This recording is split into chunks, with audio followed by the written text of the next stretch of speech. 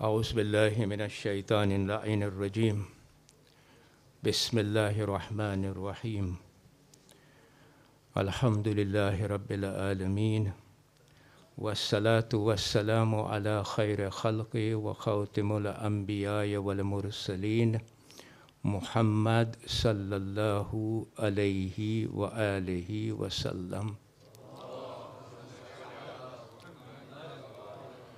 ولا حول ولا قوة إلا بالله العلي العظيم. أعوذ بالله من الشيطان اللعين الرجيم. بسم الله الرحمن الرحيم. والذين يس يصلون ما أمر الله به أن يوصل ويخشون ربهم ويخافون سوء الحساب صدق الله العلي العظيم ભાઈઓ તથા બહેનો અસલામ અલૈકુમ વરહમતુલ્લાહી વબરકાતુ તો આપણું જે સબ્જેક્ટ મેટર છે એ સુરત અલોરાદ જે કન્ટિન્યુ રાખશું આપણે ગયા અઠવાડિયે આપણે વીસમી આયતની ચર્ચા કરી હતી. આજે આપણે એકવીસમી આયતની ચર્ચા કરશું જે હું તમારી સમક્ષ હમણાં રજૂ કર્યો છું. હવે એકવીસમી આયત ઉપર આપણે આવીએ. એની પહેલાં ઓગણીસમી આયતમાં અલ્લાહ સુહાન વતાલા એક નવા લોકોની વાત કરે છે. કોન્સેપ્ટ પણ ઇન્ટ્રોડ્યુસ કરે છે ઉલુલ અલબાબનો. ઉલુલ અલબાબ તે લોકો છે જે સમજદાર લોકો છે મેન ઓફ અન્ડરસ્ટેન્ડિંગ તેઓની પાસે દે પોઝેસ ઇન્ટેલેક્ટ એ લોકો ઇન્ટેલેક્ટ ધરાવતા હોય છે કોન્શિયસનેસ ધરાવતા હોય છે અને અલ્લાહ સુબહાન વતાલાની નસીહતો ઉપર, નસીહતોને કબૂલ કરે છે. આ લોકોને અલ્લાહ સુબહાન વતાલા ટાઇટલ આપ્યું છે, ઉલુલ અલબાબ. ઉલુલ અલબાબની આઠ સિફતો અલ્લાહ સુબહાન વતાલા આ સબસિક્વન્ટ આયતો જે છે વીસમી એકવીસમી બાવીસમી એમાં અલ્લાહ સુબહાન વતાલા આપણને એની સિફતો સમજાવે છે તો વીસમી આયતમાં પહેલી સિફત આપણને સમજાવી હતી જેમાં અલ્લાહ સુબહાન વતાલા કહે છે કે આ તે લોકો છે કે જે અલ્લાહ સુબહાન વતાલાના વચન પાડે છે, એ અલ્લાહ સુબહાન વતાલાના વચનોને ભંગ નથી કરતા મીન્સ તોડી નથી નાખતા. આ પહેલી સિફત છે. આપણે લાસ્ટ વીક આની ચર્ચા કરી હતી. અલ્લાહ સુબહાન વતાલા પછી એકવીસમી આયતમાં બીજી સિફત, ત્રીજી સિફત અને ચોથી સિફત, એટલે કે બીજી ત્રણ સિફતની વાત કરે છે. અને કહે છે કે આ ઉલુલ અલબાબ તે લોકો છે કે જેઓ જે સંબંધ જોડવામાં આવવા આવવું જોઈએ એ અલ્લાહના હુકમથી એ સંબંધને જોડે છે મતલબ કે they join with the commandment of Allah subhanahu wa ta'ala those relationships that needs to be joined હવે આ આયતનો ભાગ જે છે, જે આપણે જરાક એના ઉપર એનાલિસિસ કરીએ. તો પહેલી વસ્તુ આપણને જે જાણવામાં મળે છે, એ આ છે કે અહીંયા બે શબ્દ અલ્લાહ સુબહાન વતાલા યુઝ કરે છે. યસીલુના અને બીજો શબ્દ છે યુસલા.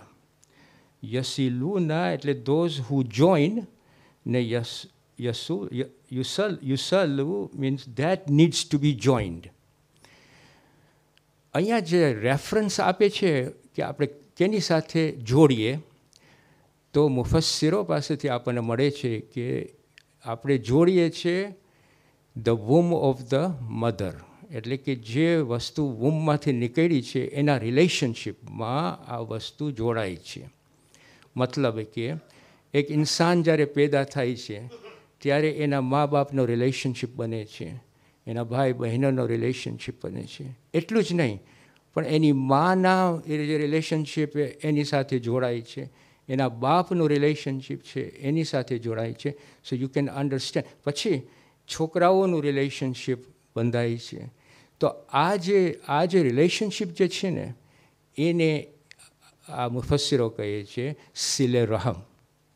સિલે રહમનો મતલબ એમ કે તમે તમારે સારા સંબંધો રાખો તમારા સગાવાલાઓ સાથે.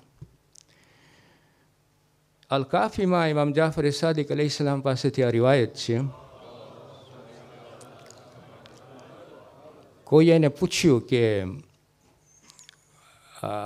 એકવીસમી આયત જે છે એમાં સંબંધનો મતલબ શું? આ જોડવાનો મતલબ શું? તો એ સમજાવે છે કે અલ્લાહ સુમહાન વતાલા આપણા ઉપર ફરજ કરે છે કે તમે તમારા સગાવાલાઓ સાથે સારો સંબંધ રાખો. એટલું જ નહીં, પણ દૂરના સગાવાલાઓ અને બાજુના સગાવાલાઓ. એટલું જ નહીં કે જનરેશન પણ ગેપ હોય ને, ઇમિજિએટ જનરેશન હોય અને પછી જનરેશન જે દૂર પણ હોય, એ લોકો બધાય સાથે આપણું રિલેશનશીપ સારું હોવું જોઈએ. That's the meaning of it તો અલ્લાહ સુબહાન વતાલા અહીંયા જ્યારે આ સંબંધની વાત કરે છે, તો મુફસ્સરો આપણને કહે છે કે આ સંબંધનો મતલબ આપણને આવી રીતે લેવો જોઈએ બેઝડ ઓન ધીસ પર્ટિક્યુલર હદીસ કે બોથ સગાવાલા જે બાજુના હોય છે, જે દૂરના હોય છે બધાની સાથે.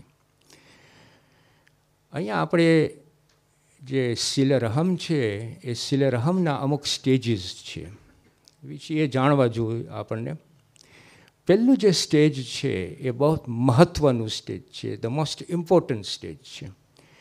કે આપણે જ્યારે આપણા દૂરના સગાઓ અને બાજુના સગાવાલો સાથે રિલેશનશીપ રાખીએ તો એવું સંબંધ રાખીએ કે આપણને પોતાને ખપતું હોય એવું સંબંધ રાખીએ. આપણને જે પસંદ હોય એવું સંબંધ રાખીએ. એવું ન રાખીએ કે આપણને જે પસંદ ન હોય એવું સંબંધ આપણે એ લોકોની સાથે રાખીએ. આપણને જે આપણા ઇન્ટરેસ્ટમાં ને આપણે જેમ ખપતું હોય, એવી રીતે આપણને જે ખપતું હોય ને સંબંધ રાખવું હોય, એવી રીતે આપણા સગાવાલાઓની સાથે સંબંધ રાખવું જોઈએ. એ મહત્ત્વમાં મહત્ત્વ the highest stage the highest stage of સિલરહમ is that કે what you want and what you want to have same sort of thing you should give it to your relations is well આપેલું. બીજું કે જે સગાવાલાઓને તાત્કાલિકની મદદ ખપતી હોય ને તો આપણે કોશિશ કરવી જોઈએ કે જેટલી સરખી રીતે એની તાત્કાલિક મદદ થાય અને મદદથી એની જે તકલીફો છે એ કાં તો નીકળી જાય અને કાં તો ઓછી થઈ જાય. This is the second stage of સિલરહમ ત્રીજો જે સ્ટેજ છે સિલરહમનો તે આ છે કે આપણી કોશિશ હોવી જોઈએ કે એની જે સ્થિતિ હોય in all its aspect, in all its dimension, not only economic, but in all its dimension. In all its dimension આપણાથી જેટલી મશવરો અને હિદાયતથી એની સ્થિતિને આપણે સારી કરી શકતા હોય તો આપણને કોશિશ આપણી કરવી જોઈએ એની સ્થિતિને સારી કરવા માટે અને ધ લાસ્ટ વન અને મોસ્ટ સિમ્પલ વન તે આપણે કહીએ ને કે તમે બાકીનું કાંઈ ન કરી શકતા હોય તો આખરે તમે સલામનો રિશ્તો રાખો તમારા રિલેશનશીપ સાથે. એટલું જ નહીં, પણ જો તમે ડાયરેક્ટલી સલામનો રિશ્તો ન રાખી શકો તો કોઈની સાથે સલામ મોચાડો. અને એ ન કરી શકતા હો તો તમારી દુઆમાં એને યાદ કરો અને એને જ્યારે મળે તો આશા આપો ને એન્કરેજમેન્ટ આપો. તો આ છે ચાર તબક્કા ઓર ફેઝિસ ઓર સ્ટેજીસ ઓફ સિલરહમ. બીજી વસ્તુ આપણને આ જાણવાની આ છે કે સિલેરહમના બે પ્રકારના બે સિલરહમ છે. એક છે કે આપણે જ્યારે આપણા પોતાના સગાવાલાઓ સાથે ઓર દરમિયાન જે રિલેશનશીપ હોય, સંબંધ હોય, એ આપણે કહીએ નસબી રિલેશનશીપ એટલે કે blood relationship or womb relationship આપણે કહીએ છીએ. એ હમણાં આપણે જે વાત કરીએ એમ. બીજું જે રિલેશનશિપ છે તે છે બિટવીન અવર સેલ્વ્સ ઈમાનદારો અને અંબિયા અને અઈમ્મા સાથે. એ રિલેશનશિપ એકચ્યુઅલી સિલેરહમ ઉપર આવે છે. કેવી રીતે? કારણ કે હદીસ છે કે રસુલ ખુદા તરફથી સલ્લાહ અલે વાલે વસલમ કહે છે કે ઉમ્માના બાપ હું છું એટલે રસુલ ખુદા અને અલી ઇબ્ન અબી તાલિબ સલામ છે. એટલે એટલે બેઝડ ઓન દેટ બેઝિસ આપણે કહીએ ને, રૂહાની સંબંધ. ઓલી છે નસબી સંબંધ. આ રૂહાની સંબંધ એ પણ આપણને તોડવા ન જોઈએ. That's the meaning of it okay આગળ આપણે જ્યારે વધીએ છીએ ત્યારે અલ્લાહ સુબહાન વતાલા કેટલું આ રિલેશનશિપને મહત્ત્વ આપે છે કે સુરે, સુરત અન નિસામાં પહેલી જ આયતમાં અલ્લાહ સુબહાન વતાલા કહે છે કે અલ્લાહ સુબહાન વતાલાથી ડરો અને કહે છે કે જે વાસ્તાથી તમે એકબીજાના હકો માંગો છો ને, તમને ખબર છે ને કે અલ્લાહ સુબહાન વતાલા આપણા એકબીજા સાથે હકો બનાવ્યા છે ડ્યુટીઝ બનાવી છે ને રાઇટ્સ બનાવ્યા છે. તો કહે છે કે જે વાસ્તાથી તમે આ હકો માંગો છો ને એના તમે ફૂલફિલ કરો છો ને રિલેશ આ જે રાઇટ્સ એન્ડ ઓબ્લિગેશન એ કરો અને કહે છે કે સિલે રહમને તમે કત ન કરો, તમે તોડો નહીં. See how what is how important that is કે he is joining Allah's name with સિલે રહમ એ સિલે રહમને તમે તોડો નહીં. This is the importance of સિલે રહમ ટુ ધી એક્સટેન્ટ કે આપણને કહેવામાં આવે છે કે જો તમારા સગાવાલ, આપણને કહેવામાં આવે છે કે જો આપણે કટ કરીએ ને સિલે રહમ તો અલ્લાહની જે રહેમત છે ને, એ આપણામાંથી નીકળી જાય છે. The goodness that is upon us is removed અને એમાંથી એક વસ્તુ થાય છે કે જો તમે સેલે રહમને કટ કરો ને, તો તમારી ઉંમરમાં એ પણ ગેરફાયદો આવે છે. તો આમાં બહુ ઇન્ટરેસ્ટિંગ વસ્તુ પણ આ છે કે જ્યારે આટલું ઇમ્પોર્ટન્સ અલ્લાહ સુહાનો તાલા સંબંધ ઉપર આપ્યું હોય ને, તો આપણને કહેવામાં આવે છે કે જો તમારા સગાવાલો તમારી સાથે રિલેશનશિપ ન રાખતા હોય તો તમારી પણ ડ્યુટી છે કે તમે એની સાથે રિલેશનશીપ બાંધ્યા જ કરો. ભલે એ ના રાખતો હોય, પણ તમે રાખો એ રિલેશનશીપ સાથે. સો આમાં ઇમ્પોર્ટન્ટ એક ફિલોસોફી જે છે ને, એ આ છે. જો, અલ્લાહ સુબહાન વતાલા આપણને કેટલું ઇમ્પોર્ટન્સ આપ્યું છે કે ફેમિલી રિલેશનશીપ ઉપર. પણ he is not confining it to family relation immediate family he he is also saying દૂરના સગાવાલાઓ, બાજીના સગાવાલાઓ અને દૂરના સગાવાલાઓ.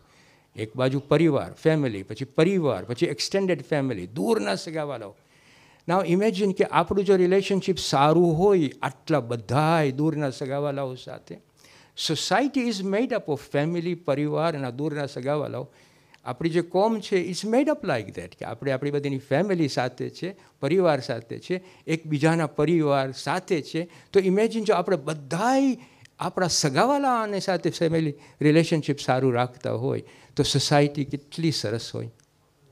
That's the importance of Allah સુબહાન વતાલા કહે છે કે મેન ઓફ અન્ડરસ્ટેન્ડિંગ ઉલુલ અલબાબ જેને મેં આ ઇન્ટેલિજન્સ આપી છે, જેને મેં કોન્શિયસનેસ આપ્યું છે, એ જો એના કોન્શિયસનેસથી મારા ઉપર ખાલી વિચાર કરે હું એને શું કહેવા માગું છું, તો આખી સોસાયટી ચેન્જ થઈ અને એક કન્ટેન્ડેડ સુકૂન સુકૂન સોસાયટી આપણે પેદા કરી શકીએ છીએ. That's the meaning of it આગળ જાય અલ્લાહ સુબહાન વતાલા આ જ આયતમાં બીજી બે સિફતો આપી છે ઉલુલ અલબાબની. એક છે અલ્લાહ સુબહાન વતાલાથી ડરો અને બીજી છે કે ખરાબ હિસાબથી ડરો. હવે અહીંયા ગુજરાતીમાં જ્યારે આપણે ટ્રાન્સલેટ કરીએ છીએ ને ત્યારે અમુક શબ્દો હું બંનેમાં ડરો નાખ્યું છું. ડરો એટલે સમજો છો ને? ડર એટલે ફિયર અથવા ભય. ના it's important to understand the philosophy of that જ્યારે અલ્લાહ જ્યારે આપણને અલ્લાહ સુબહાન વતાલા આ જે આ જે વસ્તુ એન્ડાવ કરી છે ને, આપણામાં નાખી છે ડર. ડર એટલે ફિયર ફિયર આપણામાં નાખી છે. એકચ્યુઅલી કોઈ સુઈ જાય છે? આપણે જે ફિયર આ સદવાત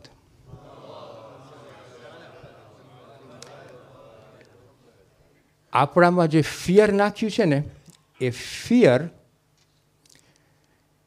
એ he has endowed it as a as a major of our security એટલે કે આપણા હિફાજત માટે અલ્લાહ સુબહાન વતાલા આપણને આ ડર આપી છે, જાનવરોને આપી છે અને ઇન્સાનોને પણ આપી છે આપણા હિફાજત માટે. It's very important to understand that secondly કે જો અત્યારે આ આ ફિયર ન હોત આપણામાં ફિયર ન હોત, તો આપણે કોઈ પણ એવા રૂલ્સ બનાવીએ આ સોસાયટીને ગવર્ન કરવા માટે, તો એ આપણે જો ડર ન હોય, તો આપણે એને પાડશું નહીં. આપણા આબરૂનો જો ડર ન હોય, આપણા સ્ટેટસનો આપણે ડર ન હોય, આપણા ઓનરનો ડર ન હોય, તો આપણે આપણા ઓનરને પણ ગીવ અપ કરશું. સી આ ડરના ફાયદાઓ છે. આપણી પાસે જો એવા એવા ફેમિલી રિલેશન્સના ડર ન હોય તો આપણે આપણા ફેમિલી રિલેશન સાથે પણ સારો રિલેશનશિપ નહીં બાંધે. ઇન અધર સોસાયટી જ્યારે ઉપયોગ કરે છે ડરને સરખી રીતે ફિયરને સરખી રીતે ઉપયોગ કરે છે, તો એ સોસાયટી કન્ટેન્ટેડ બને છે. એ સોસાયટી સુકૂનને શાંતિમાં હોય છે. ઓન ધી અધર હેન્ડ જો આપણે ડર અને ફિયરનો દુરુપયોગ કરતા હોય, એનો ઉપયોગ સરખી રીતે ન કરતા હોય, તો એક સોસાયટીમાં કંકાસ આવે છે, અશાંતિ આવે છે. કન્ફ્યુઝન આવે છે. જુલમ થાય છે. સો આ એક વસ્તુ. બીજી વસ્તુ જે આપણને જાણવાનું છે there is a difference between fear એટલે કે ડર અને ડરપોક. ડર જે છે, એ સારી વસ્તુ છે. ડરપોક જે છે વસ્તુ, એ તમારા નફ્સને વીક બનાવે છે. ડરપોકનો મતલબ સમજો છો ને? ટિમિડ આ માણસ ડરપોક છે, આ માણસ ટીમિટ છે એ બધે બાજુથી ભાગતો જ હોય, ભાગતો જ હોય. કોઈ બાજુ એક બાજુ રહીને ઊભો નથી રહેતો ને કહે છે કે આ મારી વસ્તુ છે, આમાં હું માનું છું અને અહીંયા હું માનતો જ રહીશ. નહીં, પણ ડરપોકો છે ડરપોક જ હોય. આ જે છે that brings weakness in the નફ્સ તો યુ હેવ ટુ અન્ડરસ્ટેન્ડ કે there is a difference between ડર વિચ ઇઝ અખલાકી એ તમારા માટે સારા અખલાક માટે છે અને ડરપોકપણું જે તમારે નફ્સને ઓછું કરી નાખે છે, વીક કરી નાખે છે. હવે જો આ બેકગ્રાઉન્ડ સમજાઈ ગયું હોય on the matter of fear Allah સુબહાન વતાલા અહીંયા શબ્દો જે યુઝ કરે છે તે આ છે.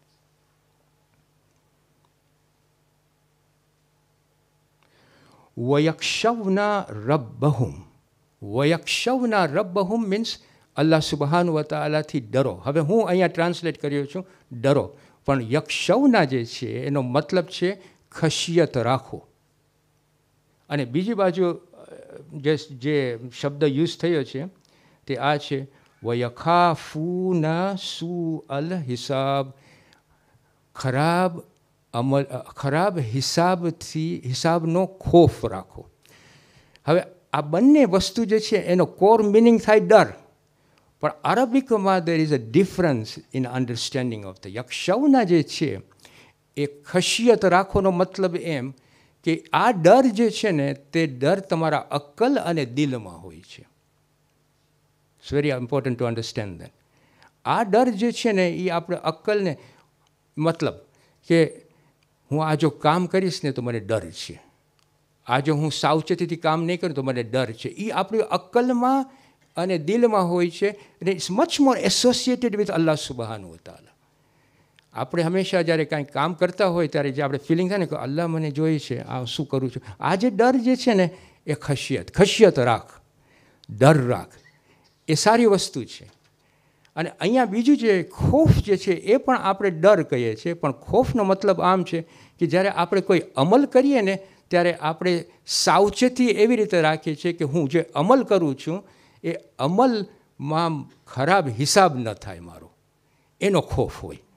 એટલે કે ખોફ છે એ અમલ ટાઈમે આપણે રાખીએ છીએ. ડર જે છે એ આપણે દિલમાં અને અકલથી આપણે આગળ વધીએ છીએ. તો વચ આપણે જ્યારે ગોડ કોન્શિયસનેસ કહીએ છીએ, તો તે ડર કેનો છે? એ આપણા દિલનો ને અકલનો ડર છે. એટલે આપણે કહીએ છીએ remain with તકવા that means be God conscious તમે જે કાંઈ કામ કરો તો remain Uh, with this understanding that Allah observes what you are doing, you are, you are afraid of Him because He is the Creator and He understands everything that I do, and I don't want to upset my Lord. That's the dar, that's the fear. And it's good for you because you are conscious of what Allah subhanahu wa ta'ala has requested and asked you to do. ત્યારે ખોફ જે છે એ જ્યારે અમલમાં આપણે કોઈ પણ વસ્તુ મૂકીએ છીએ ત્યારે આપણે કહીએ, હું આજે અમલમાં મૂકું છું. મને ખોફ, એ ખોફ આવે કે આનો તો મને હિસાબ ખરાબ નહીં લેવાય ને. એટલે કે હું આ અમલમાં એવું મૂકું કે જેનો હિસાબ સારો હોય. દેટ્સ ધ મિનિંગ ઓફ ખાસિયત અને દેટ્સ ધ મિનિંગ ઓફ ખોફ. હું અહીંયા કહું છું, અલ્લાહનો ડર રાખો અને ખરાબ હિસાબનો ડર રાખો. That's the meaning of it હવે જો આપણને આમાં છે ને આજે ક્લોક નથી તો રજાભાઈ થઈ ગયો ટાઈમ લગભગ થઈ ગયો છે ને? ઓકે થઈ ગયો છે. ઓકે સો ફ્લાસલી આપણને ચાર સિફતો મળી ઉલુલ અલબાબની. પહેલી સિફત કઈ હતી? કે આપણે એના જે વચનો છે એ વચનો પાડીએ. એનો ભંગ ન કરીએ. બીજી સિફત કે આપણા સંબંધો આપણા સગાવાલાઓ સાથે સારું રાખીએ ત્રીજી સિફત કે આપણે ગોડ કોન્શિયસ રહીએ. ચોથી સિવત કે આપણે જ્યારે અમલમાં કોઈ પણ એવા કામો મૂકીએ તો અલ્લાહ સુબહાનુ તાલાનો ખોફ હોય કે આપણી પાસે આપણે ખરાબ હિસાબ ન લેવાય. તો એટલે એટલે ખોફ ખરાબ હિસાબનો છે. અમલ કરી નાખો તમે, પણ જે પછી ખરાબ હિસાબ લેવાશે ને એનો ખોફ રાખવો જોઈએ. વસલામ આલૈકુમ વરહમતુલ્લાહી વબરકાતુહ.